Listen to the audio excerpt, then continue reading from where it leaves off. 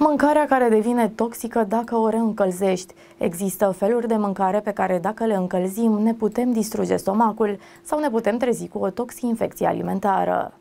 Conform planetapământ.com, unele tipuri de mâncare sunt menite pentru consum doar după ce le gătim sau reci. Reîncălzirea acestora poate să ne coste sănătatea, fiindcă multe mâncăruri devin toxice prin acest proces. Explicația este că aceste alimente devin toxice când sunt puse din nou la temperaturi mari, chiar dacă microundele par a fi uneori ca smulse din rai, fiindcă ne reîncălzesc masa dorită, acestea pot să fie ca un blestem asupra sănătății noastre. Printre aceste alimente se numără și orezul. Atunci când cineva reîncălzește orezul, bacteriile se înmulțesc și devine periculos, toxic pentru organism. Acest lucru poate să-ți provoace probleme pentru sistemul digestiv. Pe lângă orez, cartofii devin foarte toxici atunci când sunt reîncălziți, indiferent de modul în care au fost gătiți. Mâncarea care devine toxică dacă o reîncălzești este și mâncarea care conține ciuperci. Ciupercile sunt periculoase chiar dacă au nutrienți și proteine multe.